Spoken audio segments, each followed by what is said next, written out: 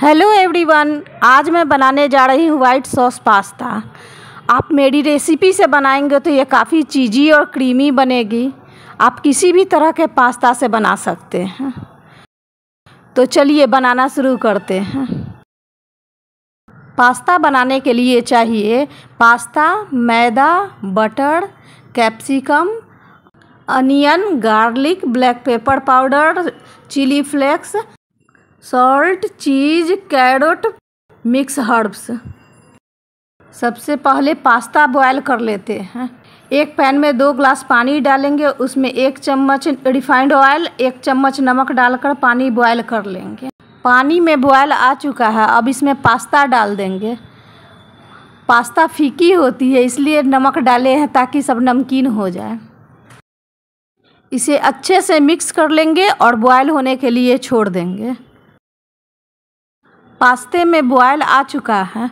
अब इसके ढक्कन हटाकर दो तीन मिनट के लिए कुक होने के लिए छोड़ देंगे। जब बॉयल आ जाए तब फ्लेम को मीडियम टू लो कर दें। दो तीन मिनट हो चुके हैं। पास्ता नाइन्टी परसेंट तक कुक हो चुकी है। हमें पूरा नहीं पकाना है नाइन्टी परसेंट ही पकाना है। अब गैस का फ्लेम ऑफ़ कर देंगे। पास्ते को छलनी में रखकर ड्रेन कर लेंगे और उसे ठंडे पानी से अच्छे से धो लेंगे ताकि सारा स्टार्च निकल जाए और पास्ते का चिपचिपापन भी चला जाए। पास्ते के छलनी को हम एक बर्तन के ऊपर रख देंगे ताकि जो भी एक्स्ट्रा पानी है वो भी निकल जाए। पास्ता खिली खिली रहे, इसलिए एक चम्मच रिफाइंड ऑयल डालकर अच्छे से मिक्स कर लेंगे।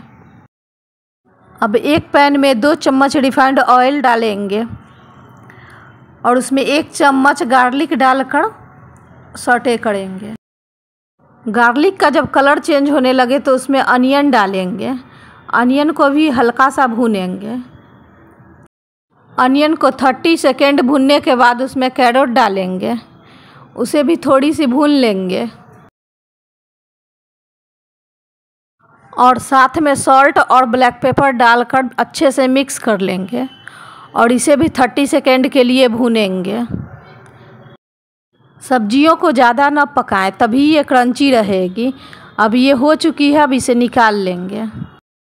सेम पैन में दो चम्मच बटर लेंगे।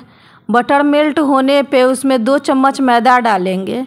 गैस का फ्लेम लो कर देंगे ताकि मैदा जले ना और इसे अच्छी तरह से भूनेंगे। दो तीन मिनट भूनने पे ये कलर आने लगेगा। अब इसमें दूध डालेंगे।